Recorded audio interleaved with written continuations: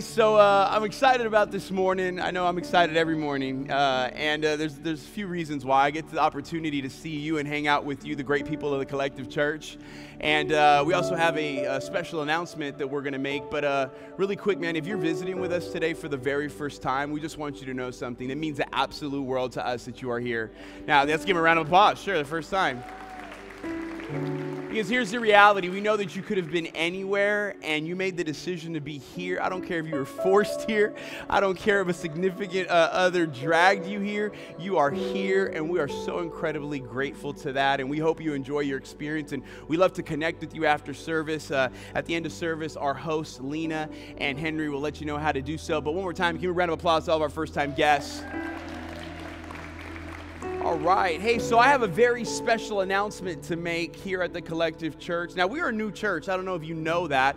Um, we are about two and a half years old, thus, why we meet uh, in a basketball court. We don't have a building, uh, but the Lord knows. Amen. And so um, we're new, and uh, starting up this church was incredible because we had a great team of people. And uh, in that, some of those people ended up crossing over and coming on staff with us. And I don't know if you guys know who Pastor Kyle is, but Pastor Kyle uh, is stand, sitting right there. And uh, yeah. Here at the Collective Church, when we say golf clap, you all clap. And so, you know, Pastor Kyle's been tasked with starting up a youth ministry. He's also simultaneously been the, one of our associate pastors here at the Collective Church, which means he's helping me out a lot on the back end on the different ministries here and building of the different ministries. And Pastor Kyle was tasked to start a youth group, and not only start a youth group, to sustain a youth group, and not only sustain a youth group, but to grow this youth group. And um, I know what it's like to start a youth group. It's absolutely absolutely hard. I think it's harder than church planning.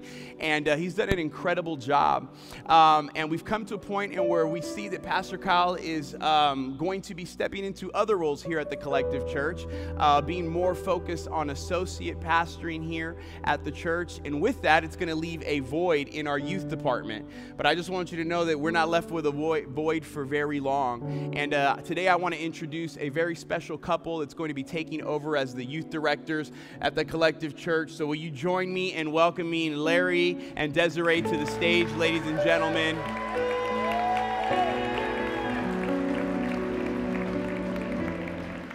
Now, man, first of all, Pastor Kyle has done such an incredible job, and uh, we'll be sharing a little bit more next week about that. Now, he's not going anywhere at all. He's staying here at the Collective Church. But uh, we've been praying for Larry and Des for about a year. Uh, Larry, I've known Larry since he was 16 years old. He's 17 now, and uh, Larry just moved here. Uh, what part of uh, Mexico were you guys in?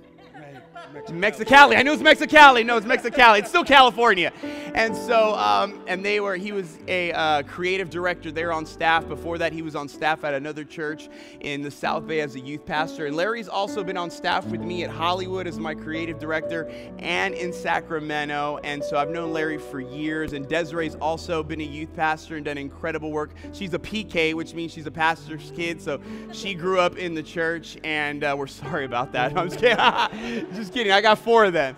Hey, but we're we're excited. Uh, Pastor Kyle is, is going to be around for two months helping them in the transition.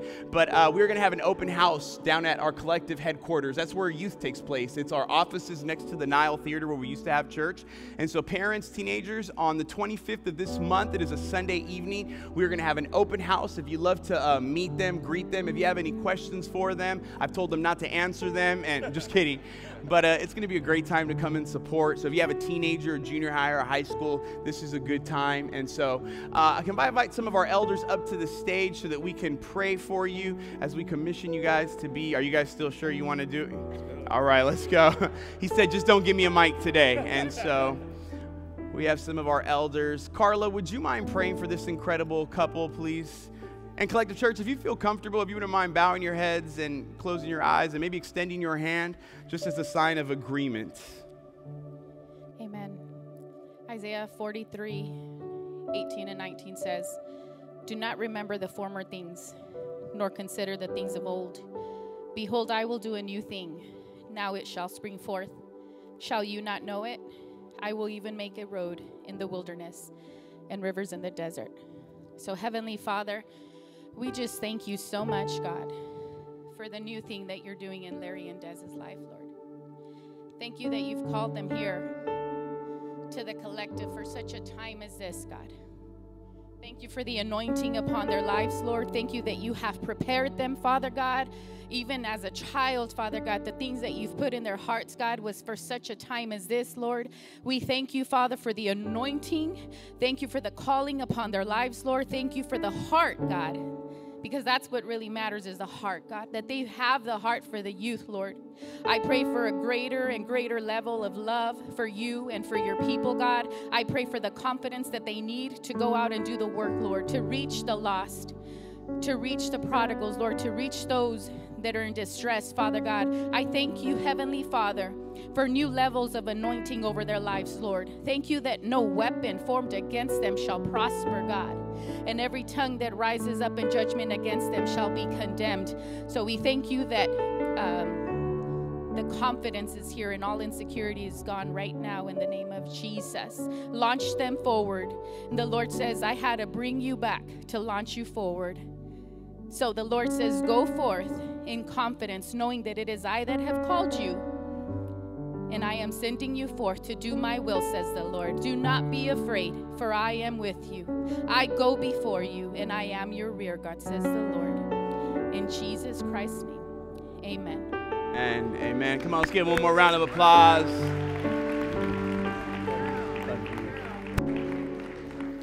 Thank you. There's a little bit of love going on out here. We're all Latinos, so that's how it goes. All right, no, for real, get off the stage, guys. love you guys. I'm just kidding. I'm just kidding. No, I'm not. Hey, just kidding. Hey, uh, Hey, so we just ended a collection of talks uh, last week entitled Uncomplicated relationships. And we're going to begin a brand new collection next week. I always like to leave a Sunday open just in case the Holy Spirit wants to do something and speak something. If the Holy Spirit ever wanted to change anything or a message, I would always do it. But today's a standalone message. Thank you, production team. We're going to be looking in the book of Genesis, and we're going to be looking at a life of a man, which, if you've been in the church for some time, you're probably familiar with. And if not, that's okay. But a man by the name of Joseph. So we're going to start in Genesis chapter 37, verse 1 through 11. And if you need a title, the title of today's message is The Five Tests of a Dream. Somebody write that down. The Five Tests of a Dream. Here it is Genesis 37, 1 through 11. Now Jacob lived in the land where his father had stayed in the land of Canaan. This is the account of Jacob's family line. Joseph, a young man of 17, was tending to the flocks with his brother, the sons of Bilhah and the sons of Zilpah, his father's wives, and he brought their father a bad report about them. Verse 3 Now Israel, or Jacob, loved Joseph more than any of his other sons because he had been born to him in his old age. And he made an ornamental robe for him. Now, verse 4 When his brothers saw that their father loved him more than any of them, they hated him and could not speak a kind word to him. Now Joseph had a dream, and when he told it to his brothers, they hated him all the more. He said to them, Listen to this dream I had. We were binding sheaves of grain out in the fields when suddenly my sheaf rose and stood upright, while your sheaves gathered around me and bowed down to it. Verse 8 His brothers said to him, Do you intend to reign over us? Will you actually rule us? And they hated him all the more because of his dreams and what he said. Then he had another dream and he told it to his brothers. He probably should have stopped at that point, but, anyways, he says, Listen, I had another dream, and this time the sun and the moon and the 11 stars were bowing down to me. When he told his father as well and his brothers, his father rebuked him and said, What is this dream you had? Will your mother and I and your brothers actually come and bow down to the ground before you? His brothers were jealous of him, but his father kept the matter in mind. Let's pray. Father, we thank you for what you've already done and what you've already established. I just pray, Lord, that you would move, that you would have your way. I, I, ask that I would become less, Lord, and that you would become more. And I pray that the very words that are being spoken in heaven will be spoken here in this room in this atmosphere, Lord. And I pray that our hearts would be open to what it is you want to speak to us. And I pray that wherever we are at on this journey of faith, whether we've walked with you all the days of our lives, whether we're new to the church, or whether we don't know you, and maybe we're skeptic, I pray that we would put aside any preconceived notions for just a moment to hear from you, Lord Jesus, to speak to our hearts. And we thank you so much for our children that are meeting in the buildings next door. We thank you for all of our children's pastors, our children's uh, crew leaders, Lord. We pray blessings over them, God God, pray you give them strength. And we just pray that our children would just learn more about you today, Lord Jesus. They would continue to know and learn about the love that you have for them. We love you, and it's in Jesus' name we pray. Everybody said, Amen. Let's give it up for James, ladies and gentlemen, on the keys. So, really quick, uh, a couple of days ago, I posted a story on, I think it was Instagram or Insta story, I don't remember, but it was about my son, Mateo. And I don't know if you've ever had an opportunity to see my son running around here, but my son absolutely has energy for days and days and days. Like it is nonstop. Like I wish I could drink some of whatever he has. But he loves basketball. He's currently playing basketball. He plays basketball here at the Dignity Sports Complex. I am here five days days a week. I've actually asked if they have timeshare available so that I can kind of just stay in this place. Man, but my son absolutely loves basketball. And a couple of days ago, he won two MVP awards here at the, we have the photos of that. He got two MVP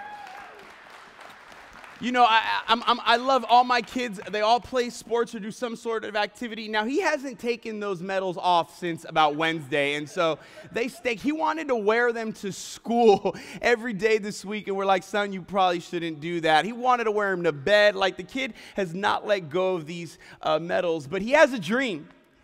He wants to play in the NBA. Like straight up, he wants to be in the NBA. And there's something about my son is that when he's focused on something, man, he goes 100. He's like his father. We just like zone in. And so all day, from the moment he gets up to the moment he goes to bed, it is basketball, basketball, basketball. He's on the ESPN. Like this kid will run out of his room and he'll just ask me a random fact. Dad, Bobby, did you know that LeBron James is going to score 40,000 points in one minute? I was like, I have no, I didn't know, son. Oh my gosh, oh my gosh like I'm supposed to like we're supposed to stop everything and clap and cheer, but like he just constantly is running around with stats. Like he's out there practicing. We've got a basketball thing outside. He loves to practice. Man, he loves basketball. His dream is to be in the NBA. He actually said something to me and Ashley was hilarious. He says, "Poppy," I said, "Well, he said if you could go to any place on vacation." any place and you wouldn't have to pay for it. And he said, Where would that be? I said, Well, son, if I didn't have you four kids, I really wouldn't have to pay for it because I said, I go to the Greek islands. He's like, The Greek islands? He said, Yeah. He said, Bobby, when I make it to the NBA, I'm going to take you there. And I was like, Oh. He's like, Poppy, what's your dream car? I said, A G Wagon, G Wagon. Eh, anyways, you cochinos. And I said, A G Wagon. He says, Poppy, when I make it to the NBA, I'm going to get you a G Wagon. So if you see me pulling up in one, it's not church money, it's basketball money, okay? I just want to get that out right here because some of you are already judging me. You judging me when you want a Lamborghini, right? And so, but he's got this incredible dream. Now, here's the reality, man. I know my son has this dream, and I think that whatever he sets his heart to and his mind to, he has the ability to accomplish the reality is that that dream is not going to just come overnight. There, there's going to be a process. there's going to be so many things that he's going to have to go through. There's going to be so many experiences that he has yet to overcome. There's going to be so much growth, so much training. There's going to be moments of setback. There's going to be moments of comeback. There's going to be moments of ups. There's going to be moments of downs. He's going to have to go through a process in order to see that dream fulfilled. And here is the truth I don't know if God has given you a dream. Has he? Maybe you have a dream of starting a business. Maybe you, you have a dream of writing a book. Maybe God gave you a dream that one day your children will serve the Lord who maybe aren't serving the Lord currently. Maybe God gave you a dream that you're going to be on staff at a church or that you're going to be a pastor. Or maybe God gave you a dream for something. I don't know, but God is in the business of giving dreams. And if He hasn't given you one, all you have to do is ask. The Bible, you have not because you ask not. But here's the truth if God has given you a dream, you will have to go through a process. There is a process in between the moment that God gives you the dream to the moment of the fulfillment of the dream. And what happens is, is many of us never truly make it to the dream because we didn't take into consideration what it was going to cost us to do the process. Because in the process, you're going to experience ups and downs. Through the process, God is going to test you. We often think that when God gives it to me, it's going to be peachy keen. Everything is going to be great. I'm just going to rise to the top. Everything is going to be smooth. I'm going to make money. Everything is going to be awesome. And I'm going to get it because God gave it to me. Usually, God gives you a photo with the end in mind, but doesn't show you how you're going to get there just yet. But oftentimes, we think it's going to be like this. This right here is you. See, it says this is you. Did anybody see that? This is you. right there, right? And this is your dream. Now, there is this vacuum and there is this space in between which we call a process in which so much happen, needs to happen. Oftentimes, we believe that God gives us this dream and that our entire a walk and journey to get there is just going to be this incredible straight line in where we rise to the top, and it's going to be that simple. Oftentimes, we think that that's what's going to happen, but the truth is, is it never happens that way. The truth is, whenever we set foot or whenever we step forth, even in our walk with Jesus, but even when we set forward to try to accomplish that dream, that's taking me back to the old school right here, you guys. Don't know nothing about that. I'm like up here just like having flashbacks on the 405. Oh, I, look, I might have, I might not have. My parents are in the building. I can't neither confirm nor deny that I use my dad's van to do it. Okay, anyways. But oftentimes the process looks more like this you come up, and then you come down, and then you come down, and then you come up, and then up, and then something good happens. Oh no, but it messed up again. Oh no, but things are going good. Ah, but things go, oh my gosh, I'm dizzy. I need a dramamine. And the entire journey looks like that. And this is the part where we get discouraged. Many of us will never make it to that because we get tired in this. Many of us will never make it to that because we get discouraged in this. Many of us will never make it to that because we spend too much time complaining about this. See, the truth is, God will take you through a season or process or seasons of testing. When you look at the life of Joseph, God gave Joseph two dreams. The dreams essentially mirrored each other in the, in the fact of what was going to happen. Now, Joseph was 17 when he received that dream. Do you know how old he was when the dream came to fruition? He was 30 years old. That means it took between 12 and 13 years before Joseph actually was realized in the dream and had the opportunity to see it happen before his feet. But see, the truth is, when Joseph received the dream, he wasn't ready for it at the age of 17. God would take him through a season of testing. God would take him through this process, about five tests that Joseph had to go through. Some people will preach this and they'll preach there's seven tests. Some people will preach that there's 10 tests. I hate tests, so I'm going to preach the minimum amount of tests. Are you with me so far? Now, the first test that Joseph had to go through was the pride test. Now, Joseph wasn't very humble in this matter. The reality is that Joseph failed this, this test miserably. At 17 years old, going to his older siblings, going to his family, and telling them that one day that they will essentially bow to him almost in a form of worship. And not only telling them once, but telling him twice. See, here's the truth. When you have a dream, never share down, never share sideways, always share up, because not everybody who's around you is a dreamer like you are. And sometimes you're surrounded by people who have broken dreams that the only thing they want to see is you never reach your dream.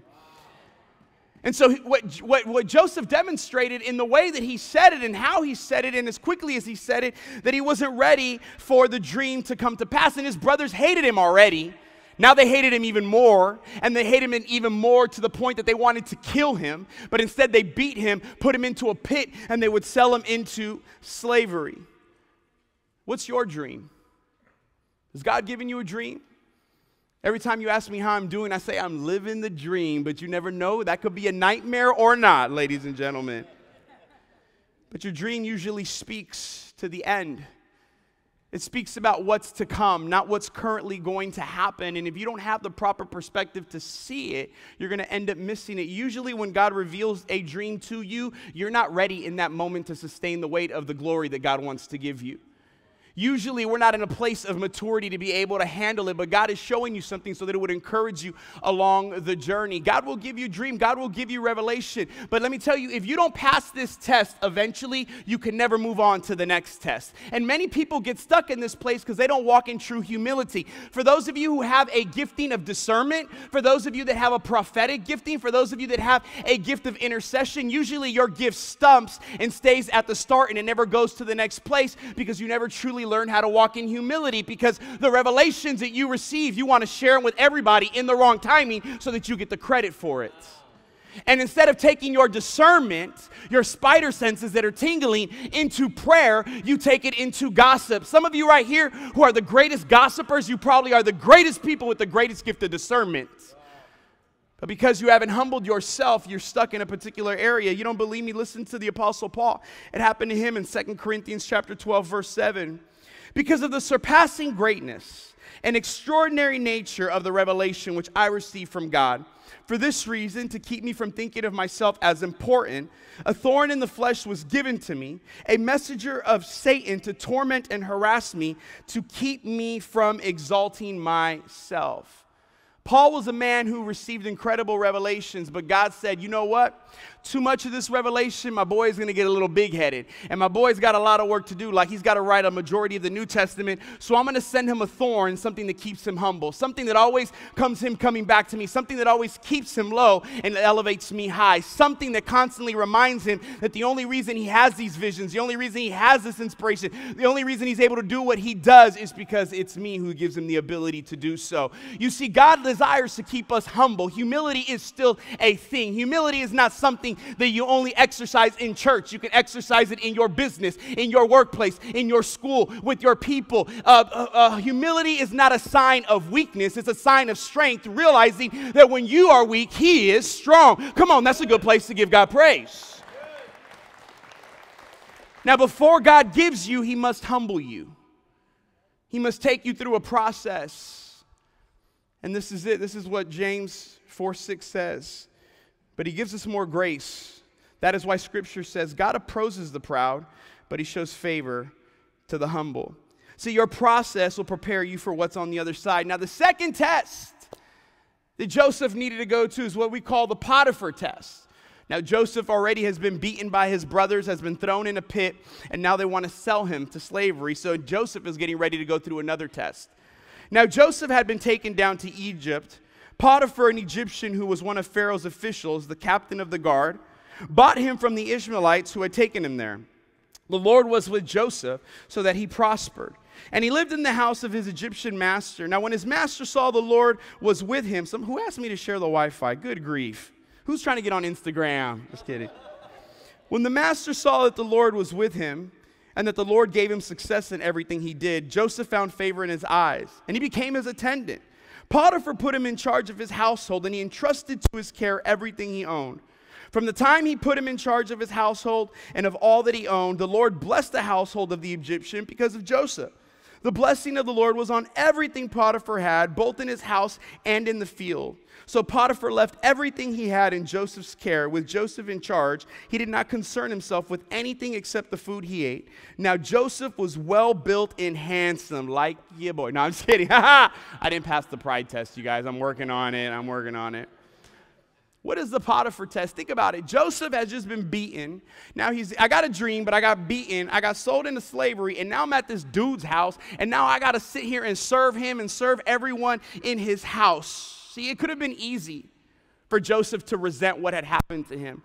You know why some of you will never achieve your dream or the dream that God has given you? Because you've allowed bitterness to take root in your heart instead of getting better, you've gotten bitter.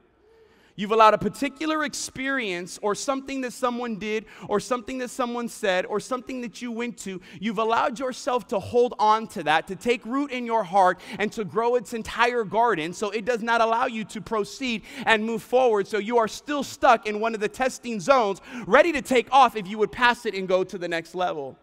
But see, this would be a test to see if Joseph would be able to serve someone he didn't necessarily like someone who put him in a place that he didn't want to be, someone who had authority to him. God wanted to see Joseph, can you serve and build someone else's vision without causing division? Can you build and serve someone else's house before I take you to a place where I'll bring people to serve your house? Or will your dreams be so big in your head that you think that this is beneath you? Ha ha! Some of you don't serve because you think you're too good enough and too big enough to actually get in there in the trenches and get dirty with the rest of the people because God's giving you a dream. The only way up with God is down first. Joseph, will you serve someone who is holding you essentially ransom? Will you, will you serve them as Colossians 3.23 says? Will you work with to him as you are working unto me? See, that was the test. Joseph could have rebelled. He could have tried to escape. He could have been bitter and allowed that. But you know, God will test you in that. God will bring you to a place before He gives you a dream. Can you serve someone else's vision? Can you serve that boss that you don't necessarily like? Or are you always leaving everywhere you go? The reason that some of you can't sustain a job or sometimes stay in a church is because you're unwilling to submit to a process that you put man in the place of, but it's really God that's allowing it. Some of you are upset with man or woman currently, and the person that you should be taking up with right now is God. Joseph could have been mad at Potiphar, but it was God uh, through Potiphar that was allowing some pruning to go in his life. Do you know that sometimes God will put you under bad leadership to prune out the bad leadership that is hidden in your heart that you didn't even know? You know that God will put you under a bad boss sometimes because in your heart, if He made you a boss right now, you would be bad. So He has to purge the bad out of you. And the reason that you can never elevate and go to the next level and get promoted is because you keep jumping from job to job to job to job to job to job, thinking that the boss is the problem. But my friend, maybe God brought you here so that I could tell you you're the problem. And the reason that you keep staying there and not getting elevated is because you keep trying to circumnavigate the tests. You keep trying to blame everybody else except look within. Christians were great at that. We like blaming the rest of the world except looking within and taking inventory ourselves. My question is can you serve someone else's vision even when you don't agree with them?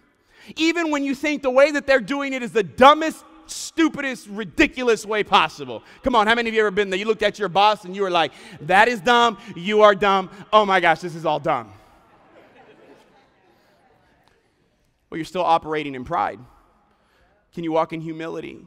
You know, I was thinking about this sermon and I was thinking about my parents, how they've stayed at the same job for like 20 something years and they, they continue to show up on time. They left on time. They've worked hard. They've grind. I don't think they ever came home one time and at dinner and said, My boss is the most incredible human being on the planet Earth. Oh, I love him. He's so great. No, but you know what they did? They knew that they had a task to do and they knew that they had someone they had to serve, and they did it every day with a smile on their face and a praise on their lips that they actually had the ability to generate income for their family.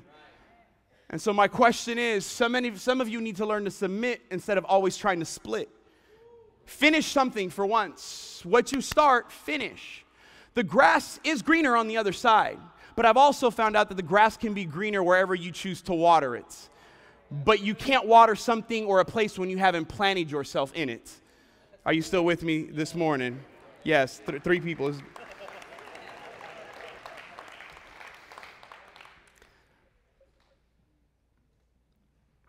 That was one of the tests. Many never passed this test, to be honest. Kind of end up staying there. And the third test that Joseph would go through is the purity test. In Genesis chapter 39, verse 6 through 9, it says this So Potiphar left everything he had in Joseph's care. Now, with Joseph in charge, he did not concern himself with anything except the food he ate. Now, Joseph was well built and handsome. Okay, we got that. You already said that. Gosh. And after, what a jerk. That's why nobody liked you. No, I'm just kidding. Just kidding. And after a while, his master's wife took notice of Joseph and said, Come to bed with me. But he refused. With me in charge, he told her, My master does not concern himself with anything in the house. Everything he owns, he has he entrusted to my care. He said, No one is greater in this house than I am. My master has withheld nothing from me except you, because you are his wife. How then could I do such a wicked thing and sin against God? Uh, this was the test to see if Joseph would compromise, if Joseph would fall prey to his flesh instead of be sustained by the Spirit. And when Joseph was confronted with it, the reality is that he ran. Why? Because he feared the Lord more than anything else. Sometimes your sin issue has more to do with the fact that you really don't fear the Lord as you should. Having a healthy fear, not I am afraid of you, oh my gosh but it is this reverence, this awe factor that says, hey, I can succumb to this, but because I fear the Lord, I'm going to choose not to. See, let me tell you what 1 Corinthians chapter 10 verse 13 says. It says, "No temptation has overtaken you except what is common to mankind. And God is faithful. He will not let you be tempted beyond what you can bear. But when you are tempted, He will also provide a way out so that you can endure it. God will take you through a season where He will not tempt you. Satan will. And in that temptation, He will test you to see if you allow your flesh to, to arise or if you allow the spirit within you to put to death the things of this world and the things of this flesh. You have to understand that purity does not just mean sexual. It means having a clean heart, clean hands, clean conscience. It means walking upright. It means being righteous. What is righteous? Being in right standing with God. God doesn't want to see that you can skip with Him for a couple of weeks and be on the straight path. He wants to see if you can walk an eternity with Him on the road that leads to heaven, on the straight and the narrow path. Can you be a Christian for more than two weeks? Can you be a follower of Jesus more than on Easter?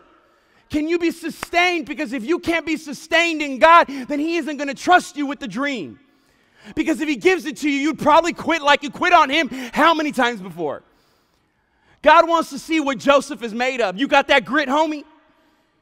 You're fine and all, but let's see how strong that backbone is when things aren't going your way, when people are coming against you, when people are lying about you, when temptation is knocking at your door, will you fold like the world or will you stand firm in my truth? You see, the reason this test didn't come first and it didn't come second and it came third, I believe that it took some time, is because initially Joseph wouldn't succumb to temptation. But you know what? The longer you go in discouragement, the longer you go in waiting, because hope deferred makes the heart sick, the longer you go without seeing the blessing, the longer you go without receiving the accolades, the longer you go without getting the accomplishment, the longer you go, the wearier your soul becomes, and the more uh, uh, uh um, what's the word I want to use? The more apt you are to falling prey to temptation. Notice that the Satan tempted Jesus when he had already fasted the 40 days and 40 nights. He didn't go to Jesus on day one, he didn't go to Jesus on day two. He went to Jesus when Jesus was about to just like, oh my gosh, this is hard because he knew that he was at his weakest. You fall prey to temptation when you're at your weakest. And the question is, well, how do I overcome the temptation of purity? Well, Joseph, homeboy, ran. He's like, I'm gone. Nike hit him up for a deal. Like, he's out. If, if this building right now caught on fire, what would you do? Would you just stay there like, oh my God, it's so warm. I love it. I'm just, I'm just waiting for the summer. I'm from Bakersfield. I'm used to this. Oh my gosh. This isn't even heat, right?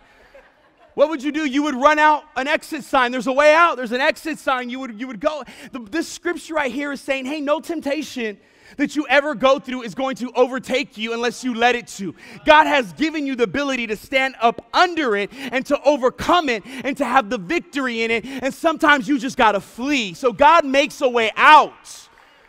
Will you take that way out? When temptation comes knocking at your door, see, God has to know that you're going to be able to continue to carry a righteous life, not a perfect life, not a, a life that's, that's not marked without mistakes and accident, but a, a, life that is chosen to be lived in pure and it's in, in its purest form. We'll see, will you compromise? The fourth test is the prison test. Because now Potiphar's wife, she's mad because Joseph didn't say yes. She thought she had him. So now she accuses Joseph of rape. Potiphar comes back. Who's he going to believe, Joseph or his wife? He believes his wife. And this is what happens in Genesis 39 20 through 23. Now, Joseph's master took him and put him in prison, the place where the king's prisoners were confined. But while Joseph was there in the prison, the Lord was with him. And in every season and in every test and in every trial, the Lord was with him. He showed him kindness and granted him favor in the eyes of the prison warden. So the warden put Joseph in charge of all things held in the prison, and he was made responsible for all that was done there. The warden paid no attention to anything under Joseph's care because the Lord was with Joseph and gave him success in whatever he did. The prison test, the test of doing the right thing and landing in the wrong place. The test of being accused from someone you worked so hard for and someone that you respected. Someone that you valued, maybe someone that you didn't actually like at first because they bought you as a slave, but they treated you so good that you had no other choice but to respect and revere this person. The having to go through that place where your character is assassinated, where someone said something about you wasn't true and you stood up right and for the truth, you are now confined to the prison of that place, the testing of the prison where you feel wronged, where you feel like you're in a place where you're neither moving forward and you're not going backward, in a place where you feel forgotten, in a place that can be dark. See, God wanted to know how Joseph would respond in this place because let me tell you something the real test comes when you've been rejected, talked about, and cast aside for doing the right thing. Some of you can't handle that. Somebody said something about you, your, your trigger fingers turn to Twitter fingers. Thank you, uh, Jay Z or whoever. That's Drake. That's Drake, the Apostle Drake. I don't listen to that, but I just heard, you know.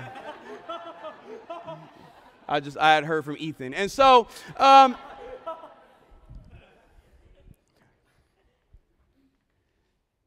assassination of your character. Some, some of you, somebody says something about you and you have to go run and put it on social media. Someone offends you and you have to go and get the whole world on your back, sign 27 petitions, and then go out after that person and go for blood. What if that was God who allowed it? What if God allowed the hurt? See, what if God wanted to offend the mind because he needed to expose your heart? And the only way he could expose the heart was to offend the mind. And sometimes God will use situations like that to bring a great offense in your life. Have you ever been in that place, man, when someone said something about you that wasn't true?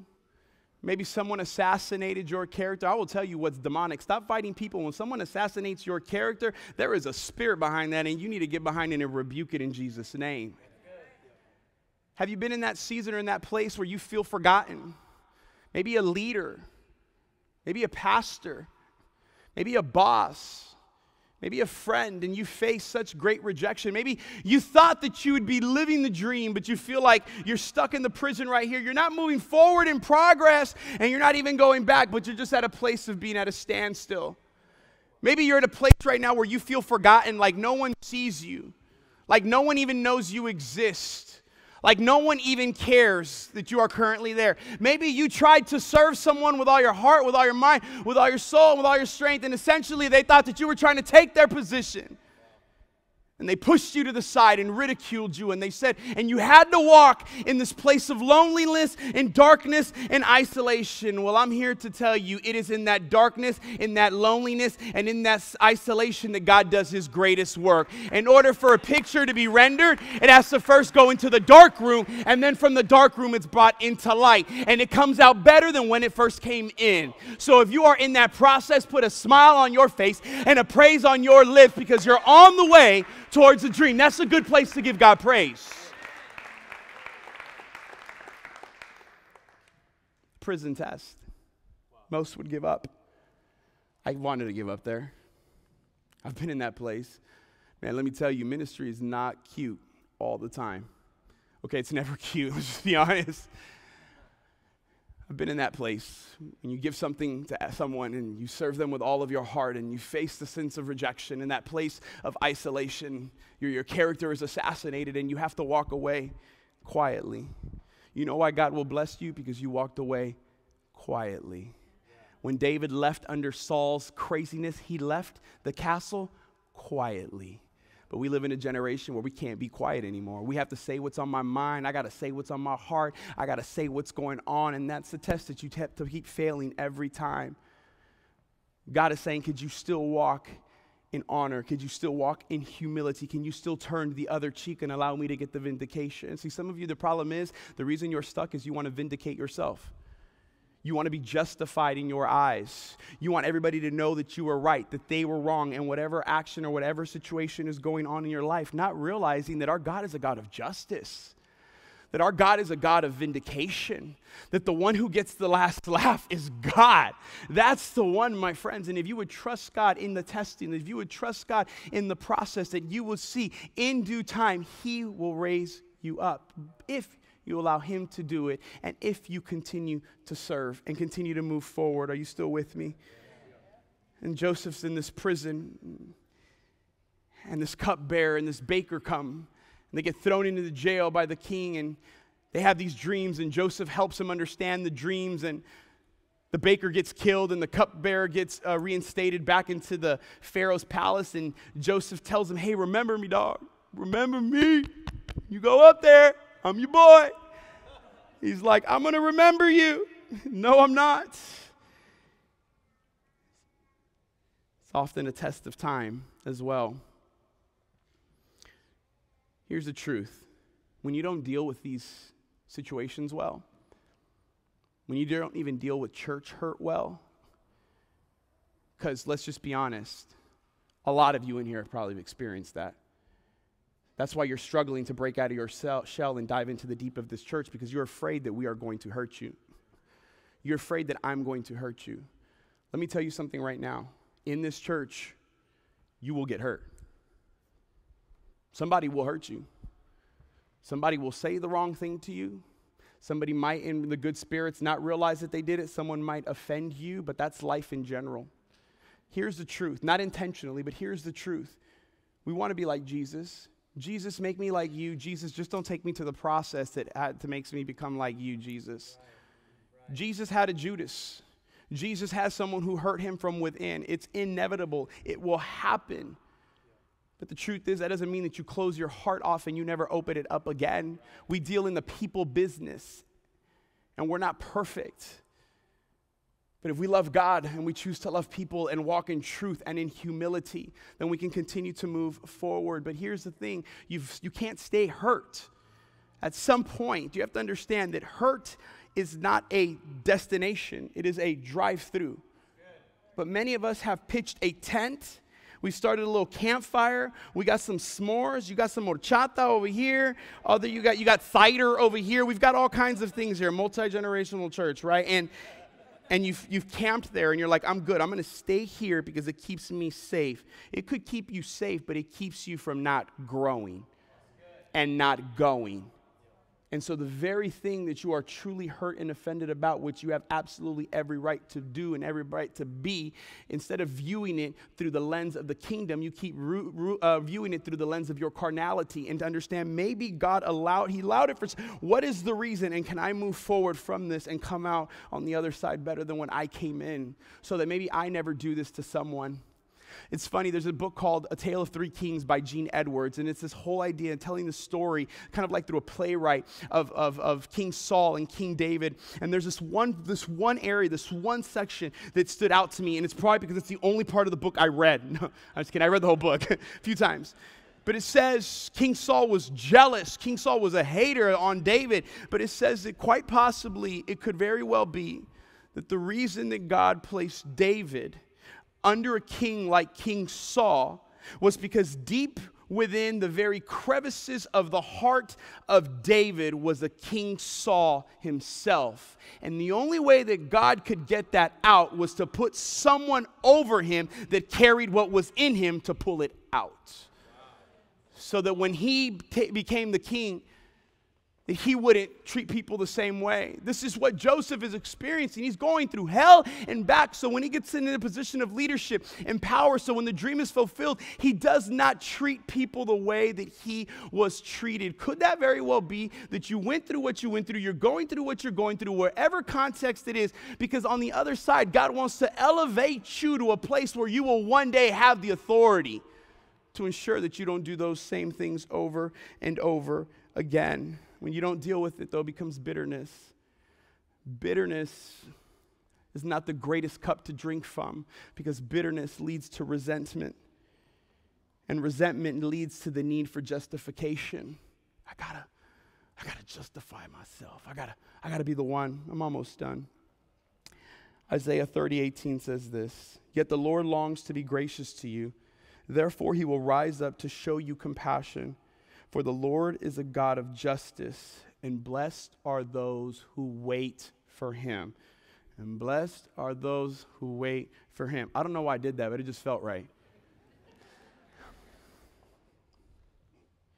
He's going to show you compassion. He's a God of justice if you choose to wait for him. That's the test that we fail when we don't wait for him. That's the test that we fail when we don't wait for Him. Worship team, if you can begin to come up. Now, the last test, the fifth test, is the test of prosperity. The test of prosperity. Pharaoh has a dream. Cupbearer remembers Joseph two years later. It's like, you know what? Bring that guy up. Joseph interprets Pharaoh's dream, and here we are Genesis 41, verse 41 through 43, and verse 46. So Pharaoh said to Joseph, I hereby put you in charge of the whole land of Egypt. Now that's a change up in itself right there. You went from being a prisoner and accused of rape to now you're in charge of Egypt, second in command. And Pharaoh took a signet ring from his finger and he put it on Joseph's finger, on the pinky ring. Amen. He dressed him in robes of fine linen and put gold chain around his neck. He had him ride in a chariot as his second in command. And people shouted before him, Make way! Thus he put him in charge of the whole land. Joseph was 30 years old when he entered the service of Pharaoh, king of Egypt. And Joseph went out from Pharaoh's presence and traveled throughout Egypt. 17, I get the dream. 30, when it comes to pass. Five tests in between. Failed the first, maybe passed the rest of them. Did he stay longer in certain ones because he didn't pass them before? Here's the thing sometimes what depends or what determines if you stay in one season longer than you should is your action and your reaction. How you choose to respond to the moment in the situation. That's when you sometimes feel stuck. God, why am I stuck? Sometimes God's like, hey, I, you could get unstuck if you were just to pass this test.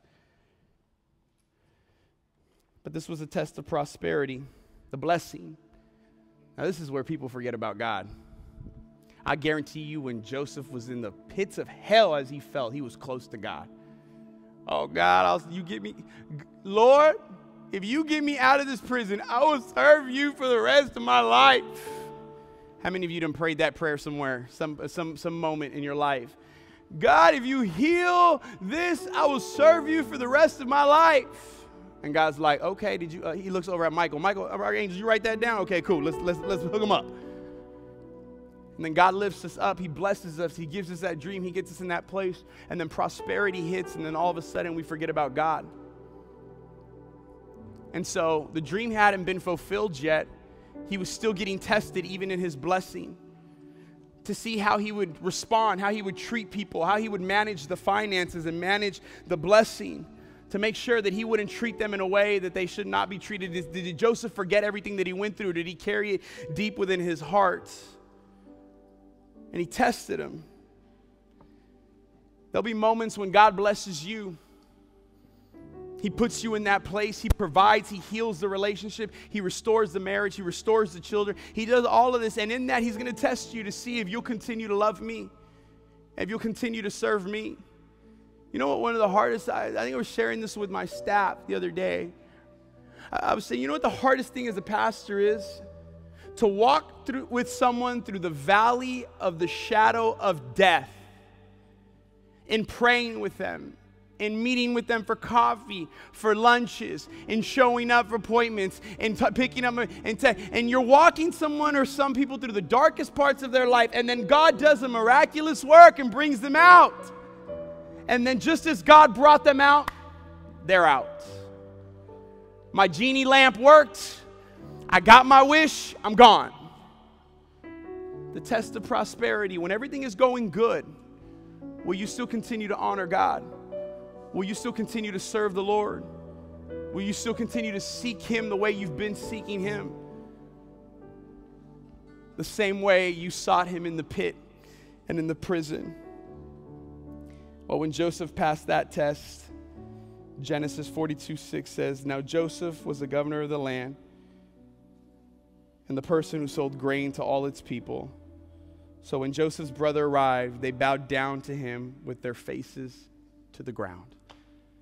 That's it. Alas, the dream came to pass.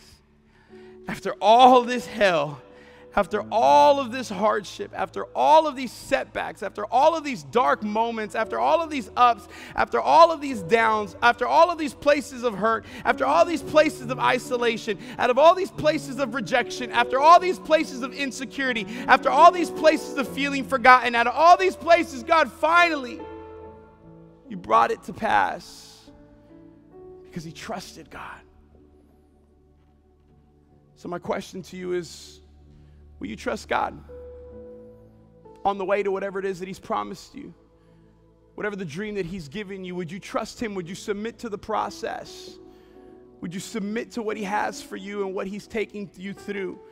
Because this, uh, this is what Philippians 1 6 says I am convinced and confident of this very thing that He who has begun a good work in you will continue to perfect and complete it until the day of Christ Jesus and the time of his return. Why don't you stand to your feet? There's a promise that you can take to the bank. That the God who began a good work in you, he's going to finish it. But check this out He won't finish it unless you allow Him to finish it. Will you say, God, what you started in me, I'm calling you to complete. And the beauty of it is, is that Jesus goes with you all the way. He journeys with you all the way. With every head bowed and every eye closed. If you're in here this morning and maybe you need Jesus for the first time, or maybe you need Jesus because it's been a long time, the Bible says the only way to the Father is through the Son, the Son Jesus. The only way for us to have life and life in the full is through Jesus. And maybe today you need something greater than yourself to save you from yourself. Or maybe today you need to come back to Jesus. Not saying that he ever left you, but maybe you need to come back and allow him to finish that work that he started in you. With every head bowed and every eye closed, if you need Jesus today, would you lift your hand? Anybody need Jesus today? Thank you, thank you, thank you, thank you, thank you, thank you. Anyone else? Thank you, thank you, thank you, thank you, thank you. Anyone else? Anyone else? Thank you. Anyone else? Thank you. Anyone else? Thank you. Anyone else? Thank you. Anyone else? Anyone else? Just can put your hands down. This isn't magic, this isn't hocus pocus, but the Bible says this if you believe in your heart and you confess with your mouth, you will be saved. That all you have to do is invite Him into your heart and then take that next step to continue the journey or start the journey. If you don't have a church, we'd love to be your church. But I want to go ahead and pray with you. With your head bowed and eye closed, if you, if you raised your hand in your own very way, all you have to say is, Jesus, I invite you into my heart. I invite you into my life. And I believe that you died on the cross just as we heard through communion, and that you rose on the third day so that I can have life and life forevermore. So, Jesus, from this day forward, I give you my life, or Jesus, I'm coming back to you so that I can continue in this life. I might not know the Bible from Genesis to Revelation, but what I do know is that you love me and you died for me, and I choose to live for you. And it's in Jesus' name we pray. And everybody said, Come on, let's give a round of applause to all those who prayed that prayer.